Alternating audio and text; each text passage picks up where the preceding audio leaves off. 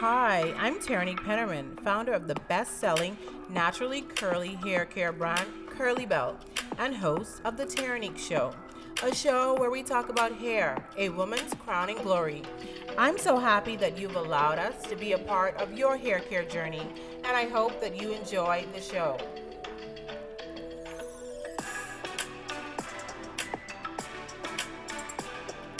Hi, and welcome to another episode of The Terrinique Show. I am so happy that you guys have decided to join us for yet another episode.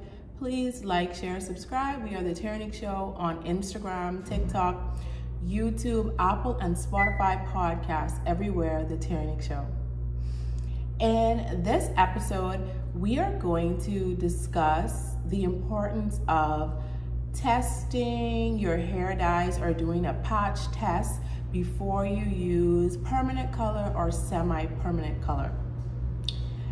You know, during different seasons, we like to switch it up. During the fall, it's more like an urban, an auburn, sorry, not urban, an auburn color or highlights or more like neutrals and brown colors or shades of blonde uh, or even red. So red is all red color is also a popular hair color in the fall.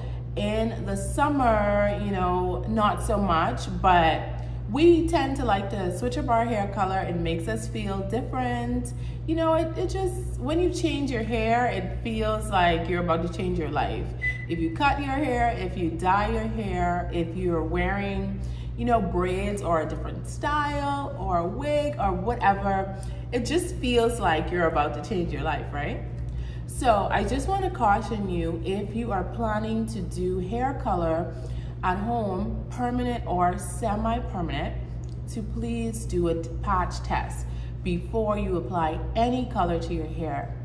We have seen online where, you know, people have done hair color and their eyes become swollen or they have to be hospitalized or they can't breathe properly.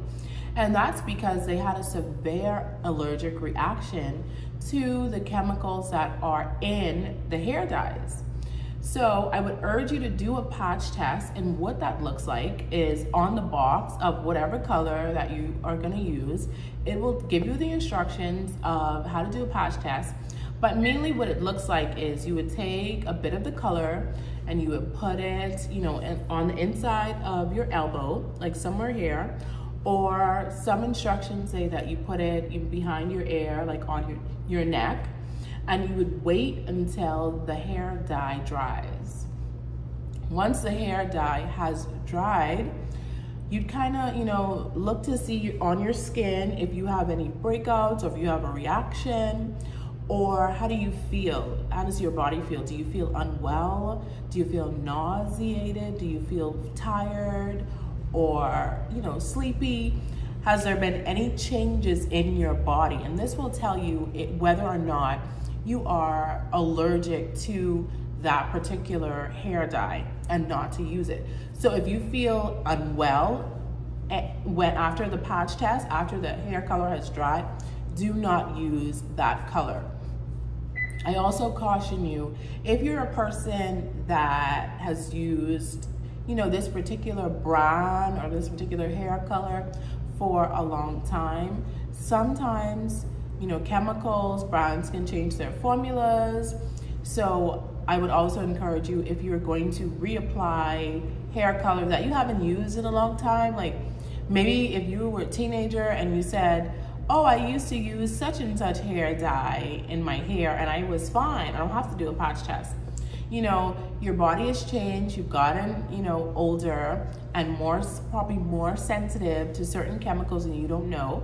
So I would encourage you, if you haven't used a particular hair color in the past, say six months or whatnot, it's been longer than a year, definitely anything over two years, you want to do a patch test because there can be severe consequences or severe reactions to using hair color and it causes you to break out or you may even have to be hospitalized in some cases. So I hope that this information was helpful to you if you are going to use permanent color or semi-permanent color. please, you know, do a patch test before you apply the color to your hair. Also, a test really gives you an idea of the true color of that product because we can see on the box the product looks this color but then when we put it you know on our hair or on our skin we see that it's not really the color that we want. So a patch test also helps with you know identifying if this is the right color for you.